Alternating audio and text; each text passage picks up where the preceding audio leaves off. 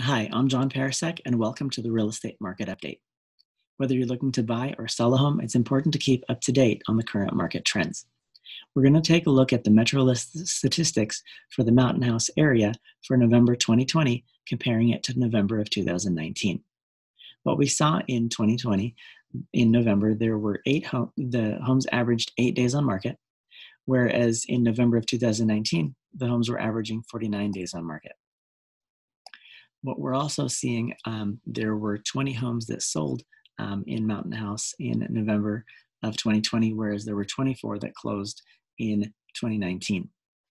As far as our average selling prices, our average selling price in Mountain House was 762 295 which is an increase of 26.2% from where we were a year ago at 603 970.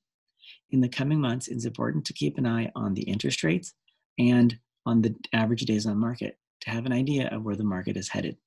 Whether you're looking to buy or sell, it's important to talk to a real estate professional. Thanks again for tuning into the market update, and I'll talk to you next month.